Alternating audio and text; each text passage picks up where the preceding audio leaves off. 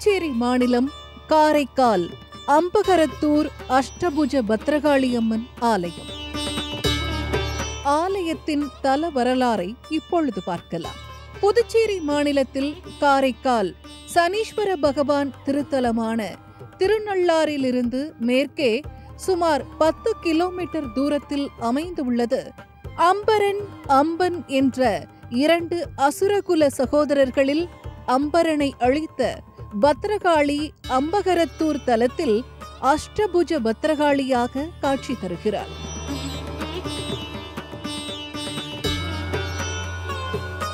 மூன்று நிலைகளை உடைய ராஜகோபுரம் அழகிய தசை வடிவங்கள் வரவேற்கின்றன.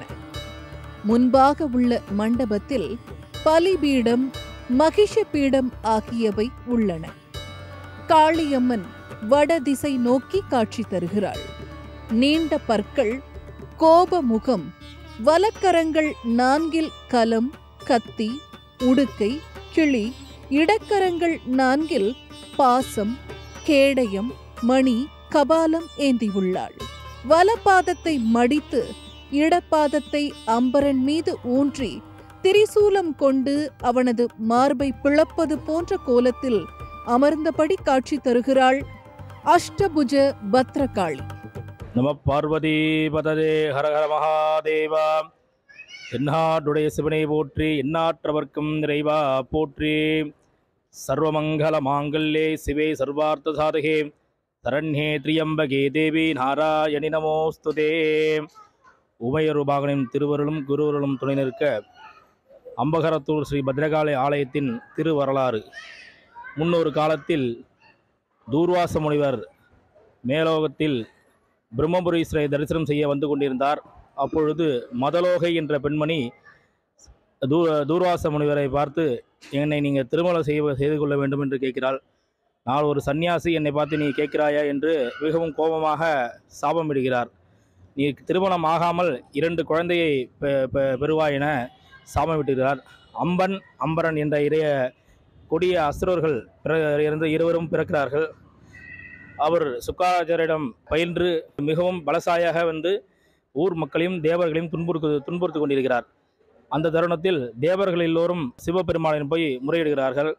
முறையிட்டு சுவாமி உடனே பார்வதி தேவி கண்ணீர் ரூபமாகவும் பெருமாளை வயதான தோற்றத்திலும் இரண்டு பேரும் இந்த பூலோகத்தில் வருகிறார்கள். வந்தோடனே அந்த பெண்ணை பார்த்தோன்னே இருவரும் இரண்டு அரக்கர்களும் ஓடி வருகிறார்கள்.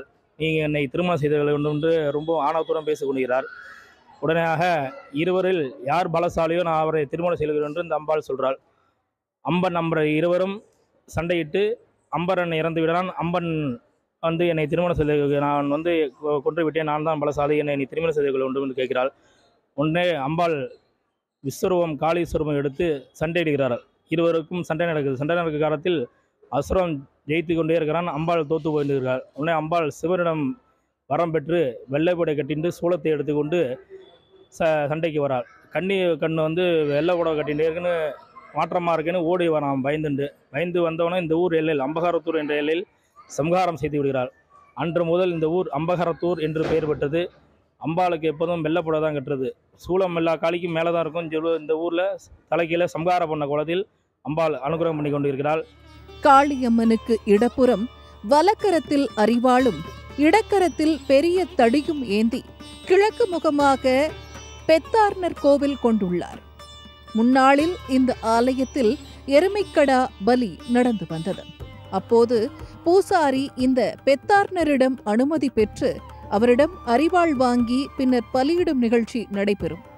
மேலும் ஆயிரத்து தொள்ளாயிரத்து அறுபத்து நான்காம் ஆண்டு அரசு வழங்கிய உத்தரவுப்படி இவ்வாலயத்தில் கடாவெட்டு நிகழ்ச்சி நிறுத்தப்பட்டுவிட்டது. அதற்கு மாற்றாக ஒவ்வொரு ஆண்டும் இதே நாளில் மதியம் பனிரெண்டு மணிக்கு மகிஷாசுர சம்ஹார நினைவு நிகழ்ச்சி நடைபெறுகிறது. வெள்ளி மற்றும் ஞாயிற்றுக்கிழமை ராகுகால வழிபாடும் பௌர்ணமியில் சிறப்பு வழிபாடும் நடைபெறுகிறது.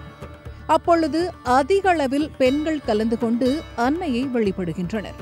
மேலும் இவ்வாலயத்தில் தை மற்றும் ஆடி மாதத்தில் கடைசி வெள்ளிக்கிழமை விளக்கு பூஜை வெகு விமரிசையாக நடைபெறும். இதில் இரண்டாயிரத்திற்கும் மேற்பட்ட பெண்கள் கலந்து கொண்டு சிறப்பு பிரார்த்தனையில் ஈடுபடுவர். அதேபோல் கடைசி செவ்வாய்க்கிழமை லட்சார்ச்சனையும் காலை முதல் இரவு வரை நடந்து கொண்டிருக்கும்.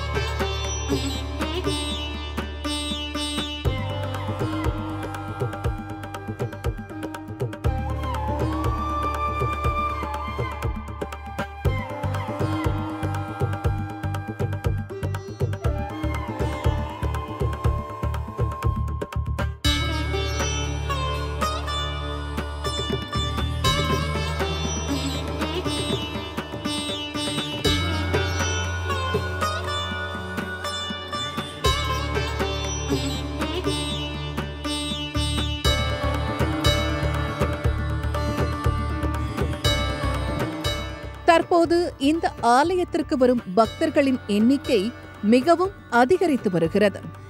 அம்மனுக்கு முன்பாக வெளியில் உள்ள வேப்பமரம் ஆலமரத்தின் மேலும் குழந்தை வரம் வேண்டி தொட்டில் கட்டி வேண்டிக் கொள்வர். திருமணம் பாக்கியம் வேண்டுபவர்கள் தாலி கயிற்றை கட்டி வழிபடுவர். அது மட்டுமின்றி அதன் அருகாமையில் உள்ள திரிசூலத்தின் மேல் எலுமிச்சை பழத்தை குத்தி கல் உப்பு இறைப்பதன் மூலம் பில்லி சூனியம் அகலும் என்பது பக்தர்களின் நம்பிக்கை. மேலும் ஞாயிற்றுக்கிழமை மாலை ராகு காலத்தில் நான்கு முப்பது மணி முதல் ஆறு மணி வரை இந்த நேரத்தில் சகஸ்ரநாமம் அர்ச்சனை செய்வதால் திருமண தடை நீங்கும் என்பது ஐதீகமாகும்.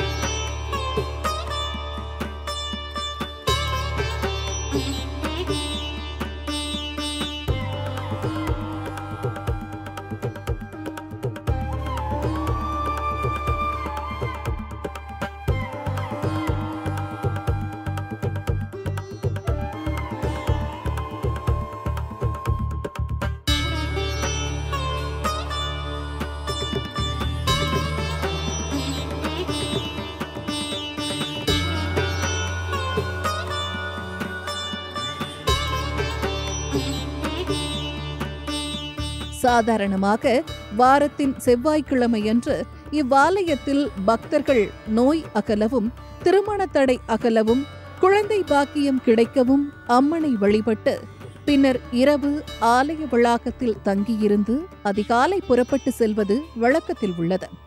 அனைத்து காளியம்மன் ஆலயங்களிலும் திரிசூலம் மேல் நோக்கித்தான் இருக்கும். ஆனால் இந்த அம்பகரத்தூர் பத்ரகாளியம்மன் ஆலயத்தில் அரக்கனை சம்ஹாரம் செய்யும் விதமாக திரிசூலம் கீழ்நோக்கி இருக்கும். இதுவே இவ்வாலயத்தின் சிறப்பாகும். இவ்வாலயத்திற்கு வந்து வணங்கி சென்றால் பில்லி சூனியத்தால் ஏற்பட்ட துயரங்கள் திருமண தடை அகலும் என்றும் குழந்தை பாக்கியம் கிட்டும் என்பதும் இந்த ஆலயத்தின் சிறப்பாகும். நேர்த்திக்கடன். ஆலயத்திற்கு சேவல் மற்றும் ஆடுகளை அம்மனுக்கு நேர்த்திக்கடனாக அளிப்பது வழக்கமாக உள்ளது. மேலும் அம்மனுக்கு அபிஷேகத்திற்கு வேண்டிக் கொள்பவர்கள் அம்மனுக்கு புடவை எடுக்கும்போது இருபது மீட்டர் வெள்ளை நிற துணியும் மூன்று மீட்டர் சிகப்பு துணி ஜாக்கெட்டுக்கும் என எடுத்து அம்மனுக்கு என ஆலயத்தில் அளிப்பர். அன்னதானம். அம்பை பத்திரகாளி அம்மனுக்கு உகந்த நாட்களாக கருதப்படும் செவ்வாய் வெள்ளி ஞாயிறு ஆகிய மூன்று தினங்களில் மதியம் பக்தர்களுக்கு அன்னதான நிகழ்ச்சியும் நடைபெறுகிறது. ஆலயம் திறக்கும் நேரம். அம்பகரத்தூர் ஆலயம் காலை ஏழு மணி முதல் மதியம் ஒரு மணி வரை மாலை நான்கு மணி முதல் இரவு ஒன்பது மணி வரை ஆலயத்தின் நடை திறந்திருக்கும்.